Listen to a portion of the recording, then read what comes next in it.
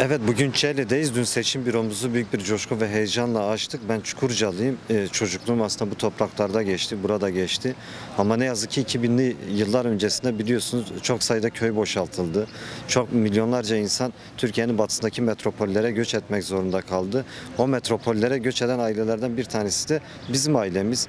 Ee, ve ne yazık ki çocukluğunuzda yarım kalan hayallerle e, hayalleriniz yarım kalıyor ve bir metropole sürgün ediliyorsunuz. Oralarda da bir asimilasyon politikasına tabi tutuluyorsunuz. Yine bir işsizlikte, açlıkta terbiye edilme durumu söz konusu. Tabii bunu kabul etmek mümkün değil. Çünkü her şeyden önce bir e, kimliğiniz inkar ediliyor ve kendi kimliğinizle sahiplenme adına başlayan zaten bu süreç e, siyasal alanda ister istemez sizi bu çerçevenin içerisinde tutuyor. Yıllarca da Ankara'da zaten gerek ailem gerek kendim bu siyasal mücadelenin içerisinde yer aldım.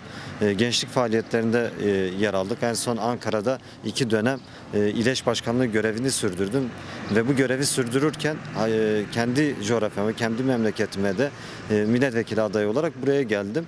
E, ve sonuç itibariyle nerede olursak olalım e, kendi dilimizde de, kimliğimizde de, kültürümüze de, doğamıza da bu siyasal mücadeleyi büyüterek devam edeceğiz. Biliyorsunuz yıllar önce az önce de dile getirdiğim gibi köy boşaltmalarından söz ettik. Aslında bu köy boşaltmalarıyla e, mesele bir güvenlik meselesi değil. Tamamen yoksullaştırma, bir toplumu bir özne olmaktan çıkarma, etkisizleştirme meselesidir. Yani buna bu şekilde bakmak gerekiyor. Sonuç itibariyle bugün Çele'deyiz. Hakkari'nin birçok köyü ya da Gever'de, Şemsinan'da da köyler yasaklı. Köylerin yasaklı olmasıyla birlikte zaten ekonomik sistem otomatikmen çökmüş oluyor. Ve bu bilinçli bir şekilde bir politikanın sonucu. Bu nedenden dolayı da kesinlikle yani en başta bu köy yasaklarından dolayı 14 Mayıs seçimlerin önemi oldukça fazla. E biliyorsunuz tarım ve hayvancılık faaliyetleri de yaylalar yasaklanarak çok sınırlandırılmış durumda. İşte çizilen suni sınırlar var. Bu suni sınırlarla birlikte günümüzde ticaret bile sınırlan, sınırlarda sınırlandırılmış durumda. Yani e, hiçbir şekilde ekonomik anlamda toplumun önünü açan, özellikle bu kadar savaşa bütçe de ayrılan bir yer bu Hakkari, e, Colemer.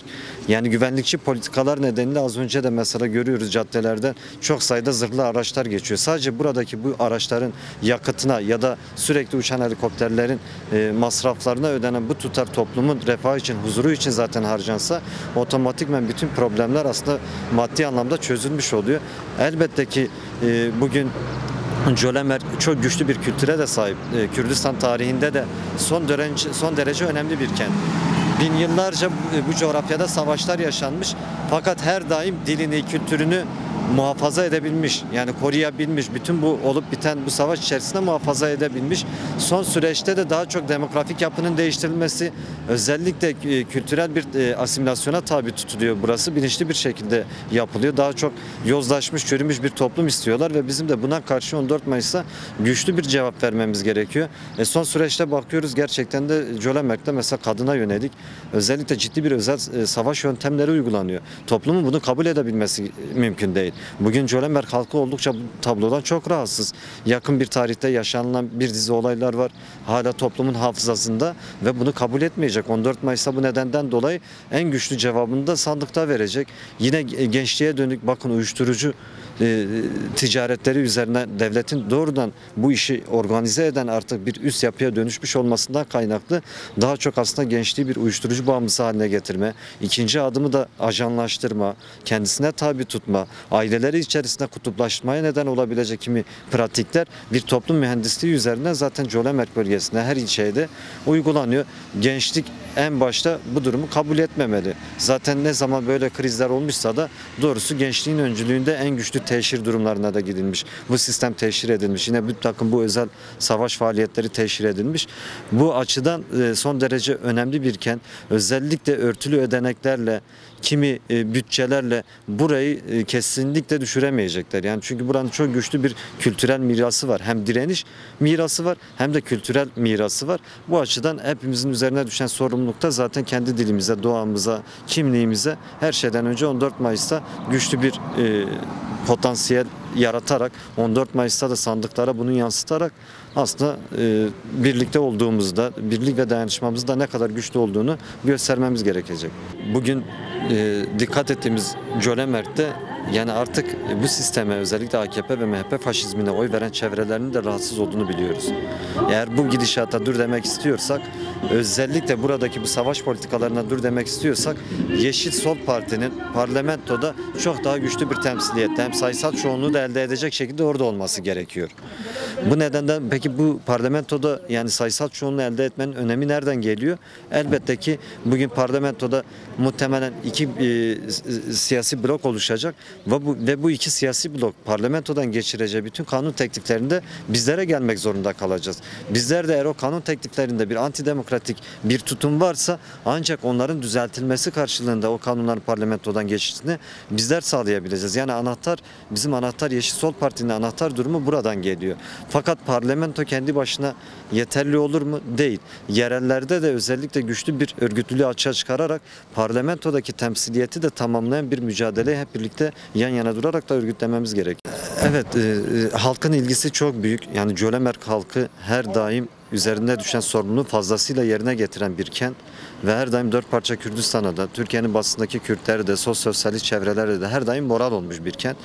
Sadece bu potansiyeli zaten kendi başına aslında biz ne kadar güçlü karşılandığımız, bürolarımızın açılışları ne kadar güçlü geçtiğini e, rahatlıkla fazlasıyla ortaya koyuyor. Bu nedenden dolayı biz Hakkari'de zaten ilk e, adaylarımızda orada buluştuk ve güçlü bir açılış oldu. Güçlü bir sahiplenme var. Yine Gever'deki büro açılışları öyle. Yine Şemzinan'daki öyle.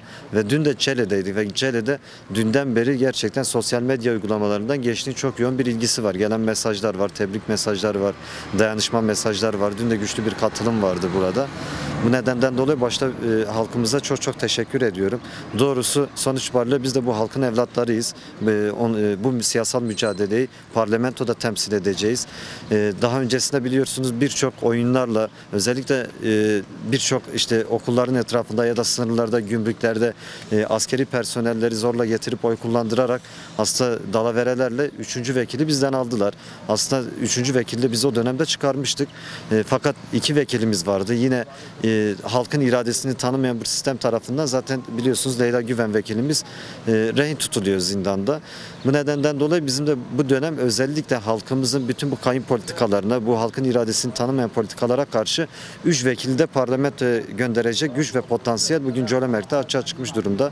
E, bu nedenden dolayı da şimdiden bütün halkımıza teşekkür ediyorum. Biz 3 vekilimiz de parlamentoya gidip tekrardan halkımızla 15 Mayıs'ta da zaten kitlesel bir şekilde buluşup en azından bir arada olduğumuzda orada da göstereceğiz 15 Mayıs'ta.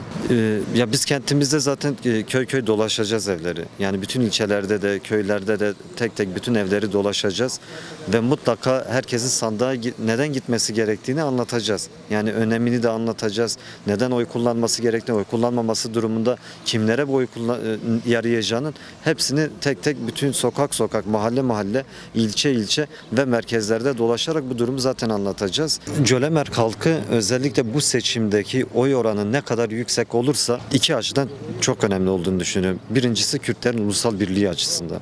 Yani Cölemerk tarihinin böylesine önemli bir rol ve misyonu her daim geçmişte de yüklenmişti ve bu dönemde en azından bu oy oranını ne kadar yükseltirse dört parça Kürdistan'da hem Kürtlerin kendi içerisindeki birliğine de e, vurgu yapmış olacak. Aynı zamanda parlamentoya da güçlü bir temsiliyet göndermiş olacak. İkincisi de biliyorsunuz İmralı'da çok ağırlaştırılmış bir tecrit var.